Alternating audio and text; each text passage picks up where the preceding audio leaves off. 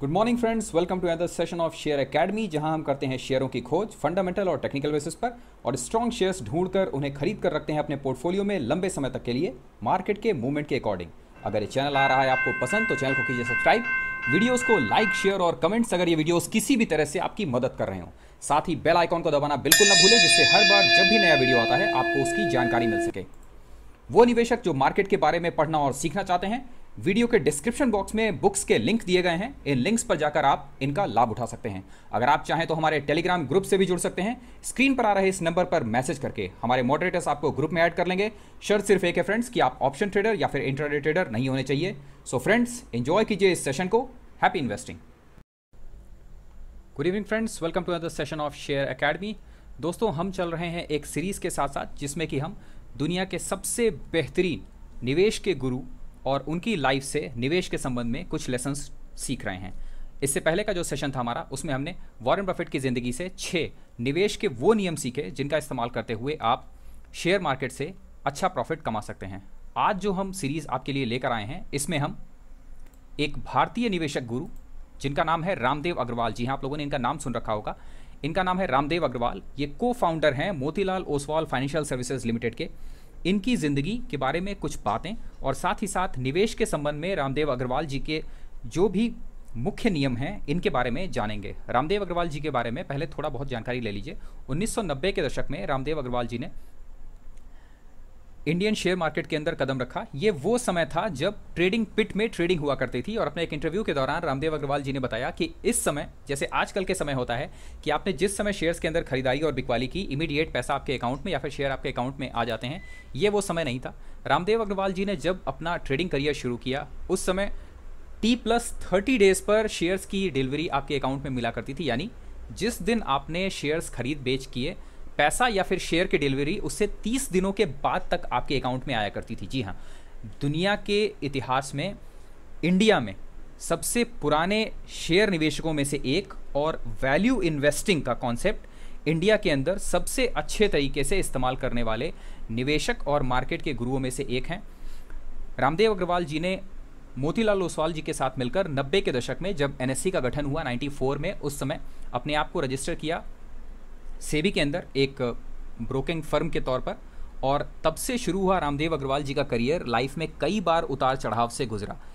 दस लाख रुपए की आमदनी लेकर रामदेव अग्रवाल जी ने हर्षद मेहता बुल रन के दौरान तीस लाख रुपए से दस करोड़ रुपए बनाए और इस जर्नी के बाद 2000 के दशक में रामदेव अग्रवाल जी ने अपनी जो किस्से शेयर किए, उस इंटरव्यू में बताया उन्होंने कि कैसे उन्होंने 30 करोड़ रुपए over a period of time गंवाए और 30 करोड़ रुपए की वैल्यू घटकर सिर्फ़ 10 करोड़ रुपए बची। इसके बाद रामदेव अग्रवाल जी की मुलाकात हुई वॉरेन बफे से ओमाहा में, जहाँ पर कि बर्कशायर हाथवे की एनुअल मीटिंग के दौरान उनकी मुलाकात हुई, जहाँ उन्हें मोतीलाल ओसवाल के रामदेव अग्रवाल जी को सुनने का मौका मिला वॉरेन बफे को और वो वॉरेन बफे से बहुत ज़्यादा प्रभावित हुए और तब से रामदेव अग्रवाल जी ने वॉरेन बफे की थ्योरी को ही इस्तेमाल करना शुरू किया और उन्हीं की थ्योरी के अकॉर्डिंग वैल्यू इन्वेस्टिंग का कॉन्सेप्ट अपने सेशन में लागू किया और वही वैल्यू इन्वेस्टिंग के कॉन्सेप्ट आज तक रामदेव अग्रवाल जी सिखाते हैं। नए निवेशकों को जितने भी नए चार्टर अकाउंटेंट्स उनके फर्म्स के साथ जुड़ते रहते हैं और साथ ही साथ उन रिटेल निवेशकों को भी जो मार्केट के बारे में सीखना चाहते हैं। दस लाख रुपए से शुरू हुई जर्नी रामदेव अग्रवाल जी की करंटली तकरीबन 1280 करोड़ रुपए के पोर्टफोलियो में तब्दील हो चुकी है और आज भी ये उतनी ही हम्बलनेस के साथ में अपनी लाइफ से जो भी इन्होंने सीखा, उसे रिटेल निवेशकों को सिखाने की कोशिश करते हैं। आज के इस सेशन में फ्रेंड्स हम सीखेंगे रामदेव अग्रवाल जी की लाइफ इनकी बुक्स और साथ ही इनके इंटरव्यूज़ से सीखी हुई कुछ ऐसी टिप्स कुछ ऐसी बातें जिनका इस्तेमाल एक रिटेल निवेशक के तौर पर आपको मार्केट के अंदर करना चाहिए, अगर आपको शेयर मार्केट से कमाना है बड़ा पैसा। तो चलिए शुरू करते हैं इस सेशन को। इस उम्मीद के साथ में कि मार्केट गुरु रामदेव अग्रवाल जी से जो कुछ भी हमने सीखा, वो सीख आगे आने वाले समय में मार्केट में हमारे लिए मदद करेगी। सबसे पहली चीज़ जिस पर सबसे ज़्यादा ज़ोर देते हैं रामदेव अग्रवाल जी, और उनका एक कोट भी है जिसे वो बार बार कोट करते रहते हैं, वो है प्राइस और वैल्यू के दौरान। इनका कहना है कि price is what you pay and value is what you get, ये बेसिकली वॉरेन बफे का कोट है, इसलिए आपको कई बार वॉरेन बफे के जो कोट्स हैं वो रामदेव अग्रवाल जी से सुनने को मिलेंगे। और हमेशा से रामदेव अग्रवाल जी इस चीज़ पर ज़ोर देते हैं कि बजाय किसी शेयर के प्राइस फ्लक्चुएशन को देखने के, आपको हमेशा उसकी वैल्यू देखनी चाहिए। नाउ, वैल्यू आपको कहाँ से मिलेगी? सबसे पहला किसी भी शेयर की वैल्यू आपको मिलेगी उसके बिज़नेस से। उसका बिज़नेस मॉडल कैसा है? रामदेव अग्रवाल जी कहते हैं कि ये कभी भी शेयर प्राइस नहीं देखते। सबसे पहले ये वॉरेन बफे की ही तरह कंपनी का बिज़नेस देखते हैं कि कंपनी बिज़नेस कैसा कर रही उस बिज़नेस को अच्छी तरह से एनालाइज करते हैं। उसके अंदर आया हुआ डेट कंपनी का प्रोडक्शन कैसा है और उसके जितनी भी तरह के रेशियोज हैं वो। और अगर उन्हें उस कंपनी के अंदर भविष्य में वैल्यू नज़र आती है तो ही ये उस कंपनी का प्राइस देखने के पीछे जाते हैं और फिर अगर इन्हें कंपनी डिस्काउंट रेट पर मिलती है, तब ये उस कंपनी को बाय करते हैं। आयशर मोटर के बारे में किस्सा बताते हुए रामदेव अग्रवाल जी ने कहा कि आयशर मोटर को बाय करने से पहले उस समय आयशर मोटर का प्राइस हुआ करता था तकरीबन हज़ार रुपये के करीब। आयशर मोटर की एक एनुअल मीटिंग के दौरान रामदेव अग्रवाल जी को इस कंपनी के बारे में पता चला वो गए और उसके बाद उन्होंने कंपनी को अच्छी तरीके से जाना और उस समय कंपनी का बिज़नेस एक ट्रकिंग का बिज़नेस चल रहा था, आयशर मोटर का। और वहाँ से वापस आने के बाद इन्होंने अपनी टीम्स के कुछ लोगों को, आयशर मोटर के बिज़नेस को स्टडी करने पर लगाया और सिर्फ़ और सिर्फ़ ट्रकिंग का कॉन्सेप्ट देखकर आयशर मोटर में खरीदारी की तैयारी की रामदेव अग्रवाल जी ने अट्ठारह सौ रुपये से लेकर अट्ठाईस सौ रुपये तक उन्होंने आयशर मोटर को खरीदा और वहाँ से वो शेयर तकरीबन तीस हज़ार रुपये तक गया। ये क्वालिटी है रामदेव अग्रवाल जी की, जब वो कोशिश करते हैं वैल्यूज़ निकालने की कंपनी से बजाय कंपनी के प्राइस पर ध्यान देने की। सेम यही हाल भारतीय एयरटेल के अंदर था। इनिशियली भारतीय एयरटेल बिल्कुल नई नई कंपनी आई हुई थी और जब रामदेव अग्रवाल जी ओमाहा में गए हुए थे वॉरेन बफे का बर्कशायर हाथवे के उस एनुअल कॉन्फ्रेंस में उस दौरान इन्होंने बताया कि इन्होंने एक इंसान एक, एक आदमी को सेल्यूलर फ़ोन इस्तेमाल करते हुए देखा। तो उन्होंने कहा कि ये कैसी टेक्नोलॉजी है क्योंकि इंडिया में उस समय ये सब था ही नहीं नाइन्टी की बात है ये। तो उन्होंने कहा कि ये सेल्यूलर फ़ोन है और रामदेव अग्रवाल जी ने कहा कि इसके बारे में फिर हमने थोड़ी सी स्टडी की और सर्च किया फिर पता चला कि ये भविष्य होने वाला है। टेलीकॉम इंडस्ट्री का ये भविष्य होने वाला है और फिर पता चला कि भारतीय एयरटेल इंडिया के अंदर आई और उसने धीरे धीरे अपना बिज़नेस जमाना शुरू किया और तब वो समय था कि जब रामदेव अग्रवाल जी ने भारतीय एयरटेल को अपने रडार पर रखा, उसके बाद भारतीय एयरटेल से भी उन्होंने बहुत अच्छा पैसा कमाया। तो कहने का मतलब है कि सबसे इंपॉर्टेंट चीज़ है, किसी भी शेयर को खरीदने से पहले आपको ये देखना चाहिए, बजाय शेयर के प्राइस के देखने के, आपको उसकी वैल्यू देखनी चाहिए कि शेयर का बिज़नेस कैसा काम कर रहा है और क्या ये बिज़नेस सस्टेनेबल है या नहीं। तो इसलिए हर दिन जो लोग भागते रहते हैं शेयर के प्राइस के पीछे ट्रेडर्स के पीछे, उनसे रामदेव अग्रवाल जी खासे नाराज़ रहते हैं और वो कहते हैं कि बजाय आपको किसी कंपनी के प्राइस के पीछे भागने के, उस कंपनी की वैल्यू इसके पीछे ज़्यादा भागना चाहिए और बजाय प्राइस पर ध्यान देने के, आपको कंपनी की वैल्यूज़ पर ध्यान देना चाहिए कि कंपनी की भविष्य में क्या वैल्यू हो सकती है ओके सेकंड चीज़ जिस पर सबसे ज़्यादा ध्यान देते हैं रामदेव अग्रवाल जी, वो कहना है कि क्वालिटी लॉन्जिविटी और ग्रोथ ये तीन चीज़ें किसी भी कंपनी के अंदर बहुत ज़रूरी हैं। पहली चीज़ क्वालिटी, यानी कंपनी का बिज़नेस कैसा है? कंपनी धंधा क्या कर रही है? जो वो धंधा कर रही है, वो अच्छी तरह से धंधा कर पाएगी लंबे समय तक या नहीं? जैसे कि एक क्वेश्चन पूछा गया जो इंटरव्यूअर था, उन्होंने पूछा कि, सर, एक अच्छी कंपनी खराब मैनेजमेंट के साथ या एक खराब कंपनी अच्छे मैनेजमेंट के साथ, इसमें से क्या चुनेंगे आप? तो रामदेव अग्रवाल जी ने कहा, भाई, मैं सबसे पहले तो कंपनी अच्छी चुनूँगा, यानी उसका बिज़नेस अच्छा होना चाहिए। मुझे सबसे पहले ये चीज़ चाहिए। तो क्वालिटी किसी भी कंपनी की क्वालिटी का मतलब है कि जो भी आप कंपनी खरीद रहे हैं शेयर खरीद रहे हैं वो कंपनी बिज़नेस क्या करती है? सेकेंड चीज़ लॉन्जिविटी यानी जो वो बिज़नेस है, वो कितने लंबे समय तक सस्टेन करेगा? ऐसा तो नहीं है कि जो बिज़नेस आ या जो कंपनी आप खरीदने जा रहे हैं, उसके राइवल्स मार्केट के अंदर इतने ज़्यादा हैं कि वो बिज़नेस खत्म होने वाला है। जैसे कि आइडिया आरकॉम या वोडाफोन जैसे कि वोडाफोन को जियो आते ही जियो ने एक साल के अंदर आइडिया वोडाफोन और आरकॉम को अपने बिज़नेस से पूरी तरह से हटा दिया। तो आपको हमेशा ये ध्यान रखना है कि अगर कंपनी अच्छी है तो कंपनी कितने लंबे समय तक सर्वाइव करेगी मार्केट में? थर्ड और इंपॉर्टेंट चीज़ है ग्रोथ कि अगर कंपनी मान लीजिए कि 10 साल तक मार्केट में सर्वाइव भी करेगी तो क्या कंपनी ग्रो करती रहेगी? कहीं ऐसा तो नहीं है कि दो साल के बाद ही कंपनी की ग्रोथ रुक जाएगी। अब उसके बाद फर्दर उसकी मांग नहीं रहेगी। कहीं ऐसे सेक्टर के अंदर तो आप नहीं जाना चाह रहे हैं। इसलिए कोई भी कंपनी जिस कंपनी के अंदर आप निवेश करना चाहते हैं, सबसे पहला कंपनी का बिज़नेस मॉडल अच्छा होना चाहिए। सेकंड चीज़ है कि कंपनी लंबे समय तक मार्केट में सर्वाइवल वाली होनी चाहिए। वो कोई भी बिज़नेस कर रही हो, कोई सामान बना रही है, उसका सामान लंबे समय तक मार्केट के अंदर यूज़ होने वाला होना चाहिए और थर्ड है ग्रोथ। लंबे समय तक भी हर साल सात दस साल उसके अंदर ग्रोथ होनी चाहिए। पहले साल अगर दस प्रोडक्ट बेचे हैं तो अगले साल बारह, अगले साल चौदह, अगले साल सोलह, इस तरह की कंपनीज़ ही लंबे समय में आपके लिए मल्टी बैगर साबित होती हैं। ये थी रामदेव अग्रवाल जी की दूसरी सीख। तीसरी जो बेहद इंपॉर्टेंट सीख है, जिसके ऊपर बहुत कम लोग ध्यान देते हैं, वो है मैनेजमेंट रामदेव अग्रवाल जी का कहना था कि कभी भी अपना पैसा किसी भी ऐसे इंसान के हाथ में मत डालिए जो कि इरेस्पॉन्सिबल हो। उनका कहना है कि एक कंपनी बेसिकली एक कार की तरह है और जिसे चलाने वाला एक ड्राइवर बेसिकली कंपनी का मैनेजमेंट है। अगर आपके पास कार बहुत अच्छी है, लेकिन ड्राइवर बहुत ख़राब है तो आप अपने डेस्टिनेशन तक नहीं पहुँच सकते, जो कि है अमीर होना। दूसरी तरफ़ अगर कार खराब है और ड्राइवर बहुत अच्छा है तो भी आप अपने डेस्टिनेशन तक नहीं पहुँच सकते, जो कि है अमीर होना। इसलिए ज़्यादातर लोग क्या करते हैं कि वो कंपनी तो अच्छी सेलेक्ट कर लेते हैं बट मैनेजमेंट अच्छा ढूंढना भूल जाते हैं। इस जगह पर रामदेव अग्रवाल जी ने कहा है कि हमेशा मैनेजमेंट के पीछे थोड़ा सा आपको डिग डीप ज़रूर करना चाहिए। आपको मैनेजमेंट के बारे में थोड़ी बहुत जानकारी ज़रूर रखनी चाहिए। और इसीलिए रामदेव अग्रवाल जी का कहना था कि आपके पोर्टफोलियो में एक समय 20 से ज़्यादा कंपनीज़ नहीं होनी चाहिए। ज़रा ध्यान से सुनिए इस इंफॉर्मेशन को, कितनी शानदार रही है ओमाहा में बर्कशायर हाथवे के जो जनक थे वॉरेन बफे उनसे मिलने से पहले रामदेव अग्रवाल जी के पोर्टफोलियो में टोटल 225 कंपनियाँ थी, जिसके बारे में ये कई बार बताते हैं। इनका कहना था कि 225 कंपनियाँ थी और ओमाहा की उस मीटिंग से वापस आकर मैंने उसमें से 200 कंपनियाँ बेच दी। सिर्फ़ 25 कंपनियाँ रखी, क्योंकि तब मेरी समझ में आया कि किसी भी पोर्टफोलियो को अच्छा पोर्टफोलियो बनने के लिए आपको बहुत ज़्यादा कंपनीज़ की ज़रूरत नहीं है, बहुत कम कंपनीज़ चाहिए। और उनका कहना था कि वॉरेन बफे तो कहते हैं कि पाँच या छः कंपनियाँ सफिशियंट हैं बट मैं थोड़ा ज़्यादा लेवरेज कर देता हूँ, इसलिए मैं थोड़ी ज़्यादा कंपनीज़ रखता हूँ। तो सोचिए कि कम कंपनीज़ रखना 225 से सिर्फ़ 25 कंपनीज़। तो यानी आपको अमीर बनने के लिए बहुत ज़्यादा कंपनियों की ज़रूरत नहीं है। मिनिमम कंपनीज़ चाहिए, बट उनका मैनेजमेंट अच्छा चाहिए, जिस पर आपको हमेशा ध्यान देना चाहिए। और रामदेव अग्रवाल जी का कहना था कि हमेशा ध्यान रखिए कि अगर मैनेजमेंट की इंटीग्रिटी डाउटफुल हो जाती है, जिसे हम लेमैन लैंग्वेज में कहते हैं कि कॉर्पोरेट गवर्नेंस का इशू आ जाना, यानी मैनेजमेंट की अगर इंटीग्रिटी डाउटफुल हो जाए तो ऐसी कंपनी से हमेशा दूर हो जाइए, जब तक कि मैनेजमेंट चेंज नहीं हो जाता कंपनी का। इसलिए हमेशा ध्यान रखिए, जिस भी कंपनी में आप निवेशित होना चाह रहे हैं कंपनी में निवेश करना चाह रहे हैं, उसके बारे में थोड़ी बहुत जानकारी आपके लिए बहुत ज़रूरी है, और स्पेशली मैनेजमेंट के बारे में। अगला बेहद फ़ेमस कोट है रामदेव अग्रवाल जी का, उनका कहना है कि time is a friend of good companies and enemy of bad companies ET Now के साथ में इंटरव्यू देते हुए उन्होंने इस चीज़ को तीन या चार बार रिपीट किया और ये बेसिकली कोट था वॉरेन बफे जी का, जिसे रिफाइन करके रामदेव अग्रवाल जी ने कहा कि time is your friend impulse is your enemy so Ramdeo Agrawal ji का कहना है कि तीन चीज़ें मार्केट के अंदर आपको चाहिए। सबसे पहला चाहिए आपको knowledge to analyse a share और अ कंपनी तो नॉलेज आपके पास में स्किल आपके पास में होना चाहिए कि आप किसी कंपनी को या किसी शेयर को एनालाइज कर सकें। सेकेंड चीज़ करेज टू बाय इट इतना आपके पास साहस होना चाहिए कि जब बाकी की पूरी दुनिया नहीं खरीद रही है तब आपके पास में इतना साहस होना चाहिए कि आप उस कंपनी को खरीद सकें बाकी लोग मना कर रहे हैं तो भी।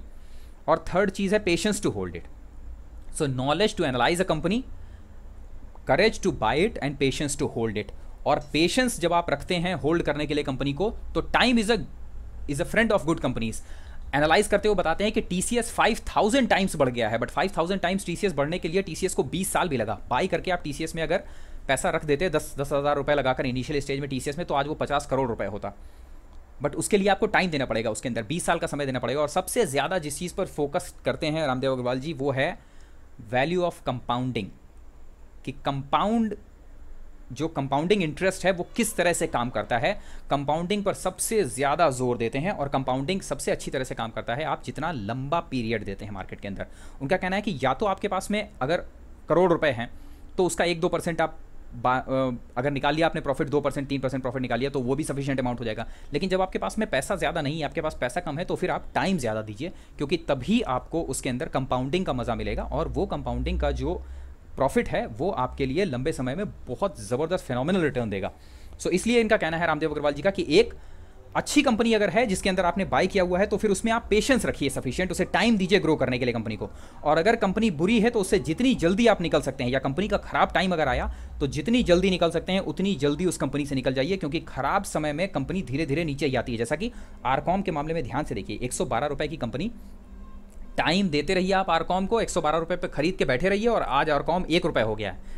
टी सी एस सौ रुपये पर खरीद के बैठी है और आज हज़ार रुपये पर चल रहा है। तो ये फ़र्क है जहाँ पर रामदेव अग्रवाल जी कहना चाहते हैं कि time is a friend of good companies and enemy of bad companies then एक ऐसी इंफॉर्मेशन जिसका इस्तेमाल आपको हमेशा मार्केट के अंदर करना चाहिए। बहुत मज़ेदार इंटरव्यू है इनका अनिल अग्रवाल जी के साथ में जहाँ पर आ, अनिल सिंघवी जी माफ़ कीजिएगा अनिल सिंघवी जी के साथ में। अनिल सिंघवी जी ने कहा कि सर थोड़ा सा ऑप्शंस के बारे में बताइए। और रामदेव अग्रवाल जी ने कहा ऑप्शंस वो क्या होता है? वो हमको नहीं पता।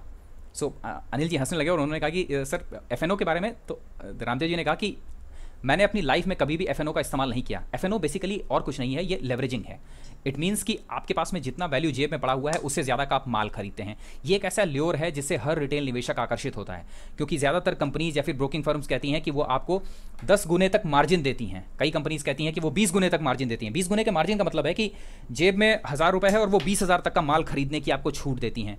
और कंपनियाँ ऐसा इसीलिए करती हैं, इस लेवरेजिंग का इस्तेमाल कंपनियाँ इसीलिए करती हैं क्योंकि उससे रिटेल निवेशक ल्योर होते हैं। और रिटेल निवेशक ज़रूरत से ज़्यादा बाई करते हैं ओवर लेवरेज होते हैं, उसके बाद मार्केट के अंदर अपनी पूंजी गंवा कर चले आते हैं। रामदेव अग्रवाल जी का कहना था कि आज तक मैंने कभी भी लेवरेजिंग नहीं की मार्केट के अंदर। मेरी जेब में अगर सौ रुपए का, हुए सौ रुपए तो मैंने सिर्फ़ नब्बे रुपए का माल खरीदा, सौ रुपए का माल मैंने कभी भी नहीं खरीदा और 120 का तो कभी भी नहीं खरीदा अपनी लाइफ में। और उन्होंने क्या कहा, कितनी शानदार एग्ज़ाम्पल दिया। उन्होंने कहा कि अगर आप लेवरेज करते हैं, सौ रुपये आपकी जेब में है लेवरेजिंग से अगर आप दो सौ का माल खरीदते हैं और अगर आपकी वैल्यू पचास प्रतिशत भी कम हो जाती है तो आपका पूरा पैसा चला जाता है और आप रोड पर आ जाते हैं। और मार्केट के अंदर वही आदमी सर्वाइव कर सकता है जिसकी जेब में एक रुपया है। प्रिंसिपल नहीं जाना चाहिए। मूलधन अगर बचा हुआ है तो अगर सौ का पचास भी हुआ, पचास का दस भी हुआ तो दस से वापस सौ हो जाएगा। लेकिन अगर सौ का ज़ीरो हो गया तो आप मार्केट में सर्वाइव नहीं करेंगे। इसलिए रामदेव अग्रवाल जी का क्लियर नियम है ये, और ये नियम पूरी तरह से लागू होता है और कॉरोबरेट होता है वॉरेन बफे की सीख के साथ भी। क्या? लेवरेजिंग नहीं करनी है। कभी भी एफएनओ सेगमेंट के अंदर आपको नहीं जाना है, जब तक कि आप बहुत बड़े निवेशक नहीं हैं और इसी वजह से वॉरेन बफे का भी कहना था कि डेरिवेटिव्स यानी future and option segment derivatives is a financial weapons of mass destruction यानी जितना ज़्यादा नुकसान फ्यूचर एंड ऑप्शन सेगमेंट ने किया है रिटेल निवेशकों का, इतना नुकसान कभी भी किसी ने नहीं किया। देखिए कॉरोबरेट हो रही है चीज़। रामदेव अग्रवाल जी जैसे शिष्य अपने गुरु वॉरेन बफे की बात को ही कंफर्म कर रहे हैं और अपने हर एक इंटरव्यू के दौरान हर एक अपने जो स्टेटमेंट देते हैं, जो भी रिसर्च पेपर्स देते हैं, उसके अंदर इन्हीं चीज़ों का ज़िक्र करते हैं। क्वालिटी क्वालिटी और क्वालिटी नथिंग एल्स सिर्फ़ क्वालिटी की बात करते हैं। तो वहाँ वो कह रहे हैं कि डेट से पूरी तरह से दूर रहना चाहिए और डेट का मतलब है लेवरेजिंग मार्केट के अंदर, कि आपको लेवरेज नहीं करना है। जितना आपकी जेब में पैसा है, सिर्फ़ उतने के क्वालिटी के शेयर्स खरीदिए और क्वालिटी के शेयर्स खरीद कर पेशेंस के साथ में बैठिए। तो ये वो नियम है फ्रेंड्स जिसका एक रिटेल निवेशक होने के तौर पर आपको बहुत ज़्यादा ध्यान रखना चाहिए। एफ़ सेगमेंट से रहिए दूर, सिर्फ़ और सिर्फ़ नॉलेज बढ़ाइए अपना और क्वालिटी के शेयर्स खरीदिए लेवरेजिंग बिल्कुल भी मत कीजिए। एट लास्ट सबसे इंपॉर्टेंट और सबसे ज़्यादा ज़रूरी लेसन सबसे लास्ट में लेकर आए हम आपके लिए, जिसमें उन्होंने क्लियर कहा था कि ऐसा कभी भी मत सोचिएगा कि आप किसी कंपनी से ज़्यादा पैसा कमा लेंगे। ज़रा सोचिए कि इस बात का मतलब क्या हो सकता है। एक ट्रेडर जो कि ट्रेड करता है सुजुलॉन या आरकॉम जैसी कंपनी के अंदर, वो कंपनी जो कि बैंक होने की कगार पर है और जो कंपनी खुद डूबने जा रही है और आप सोच रहे हैं कि उसमें ट्रेडिंग करके आप पैसा कमा लेंगे। ऐसा कभी भी नहीं होगा। एक निवेशक या एक ट्रेडर सिर्फ़ उतना ही पैसा कमा सकता है जितना पैसा कमाने की उम्मीद उस कंपनी की है। क्यों? जब कंपनी पैसा कमाती है तो ही आप पैसा कमाते हैं। इसलिए हमेशा इस नियम का पालन करते हुए उन कंपनियों में निवेश कीजिए जो कंपनियाँ खुद पैसा कमा रही हैं, जो कंपनियाँ खुद प्रॉफिटेबल हैं। क्यों? You cannot make more money than your company अपनी कंपनी से ज़्यादा पैसा आप नहीं कमा सकते, सबसे ज़्यादा पैसा वो कंपनी कमाएगी और उस कंपनी के बराबर ही पैसा आप उसके जो आपका जो शेयर है, उसके अकॉर्डिंग ही आप पैसा कमाएँगे। तो बेसिकली ये कहने का मतलब क्या था रामदेव अग्रवाल जी के? जब वो ये सेंटेंस कह रहे हैं, इसका मतलब है कि हमेशा फंडामेंटली स्ट्रॉन्ग कंपनीज़ में पैसा लगाइए। उन्हीं कंपनीज़ को चुनिए जो फंडामेंटली स्ट्रांग हो, जिनके अंदर ग्रोथ हो, जो लंबे समय तक मार्केट में सर्वाइव करने वाली हैं। क्यों? जो कंपनी खुद बैंक होने वाली है, उस कंपनी में पैसा डालकर आप कैसे पैसा कमाएँगे, ये बताइए। जो खुद ही नहीं कमा पा रही है, वो अपने निवेशकों को पैसा कमाकर कहाँ से देगी कंपनी? इसलिए सबसे पहली और सबसे ज़रूरी, सबसे लास्ट में ये सेंटेंस रखा है हमने, ये सीख सबसे आखिरी है उनकी, कि आप कभी भी अपनी कंपनी से ज़्यादा पैसा नहीं कमा सकते, इसलिए हमेशा वो कंपनीज़ ढूंढिए, जो कंपनीज़ वाकई पैसा कमा रही हैं, ताकि आप भी पैसा कमा सकें। आप कभी भी ये मत सोचिएगा कि आरकॉम या सोलॉन जैसी कंपनीज़ के अंदर पैसा डालकर आप पैसा कमाएँगे, क्योंकि वो कंपनी खुद ही पैसा नहीं कमा रही। तो आपको पैसा कमा कर कहाँ देगी? सो फ्रेंड्स बेहद छोटा सा सेशन था। एक बार इसे समराइज कर देते हैं, जितने भी लेसन्स थे सर के। सबसे पहला है प्राइस एंड वैल्यू हमेशा ध्यान रखिए कि प्राइस वो है जो आप पे करते हैं और वैल्यू वो है जो आपको मिलती है। तो इसलिए हमेशा कंपनी की इंट्रेंसिक वैल्यू के पीछे पड़िए। जानने की कोशिश कीजिए कि कंपनी अपना धंधा कैसे कर रही है। भविष्य में आने वाले समय में कंपनी की ग्रोथ अपॉर्चुनिटीज़ क्या क्या हैं। सेकेंड क्वालिटी हमेशा अच्छी क्वालिटी की कंपनी चुनिए। लॉन्जिविटी कंपनी लंबे समय तक सर्वाइव करने वाली होनी चाहिए मार्केट के अंदर और ग्रोथ जिस भी कंपनी के अंदर आप निवेश करना चाहते हैं, उस कंपनी के अंदर ग्रोथ ज़रूरी है। Good business with good management हमेशा ध्यान रखिए कि अगर कॉर्पोरेट गवर्नेंस का इशू आ गया है मैनेजमेंट अगर अपने कंपनी के इंप्लॉयज़ की सैलरी देने में नाकाम है या किसी भी तरह का, किसी भी तरह का उनके ऊपर इल्ज़ाम लगा हुआ है या फिर किसी तरह का चोरी का, ऐसा कोई भी गबन का या डिफ़ॉल्ट करने का या फ्रॉड करने का तो ऐसे मैनेजमेंट से हमेशा दूर रहिए। Time is a friend of good companies and enemy of bad companies तीन चीज़ें बहुत ज़रूरी हैं मार्केट के अंदर, आपके लिए नॉलेज ताकि आप कंपनीज़ को एनालाइज कर सकें। सेकंड आपके पास होना चाहिए करेज कि आप ऐसी कंपनीज़ को खरीद सकें। और थर्ड पेशेंस पेशेंस रखिए हमेशा अच्छी कंपनीज़ को खरीदने के बाद। और अगर कंपनी खराब है तो कंपनी से जितना जल्दी हो सके उतना जल्दी निकल जाइए, क्योंकि समय अच्छी कंपनियों का दोस्त और बुरी कंपनियों का दुश्मन होता है।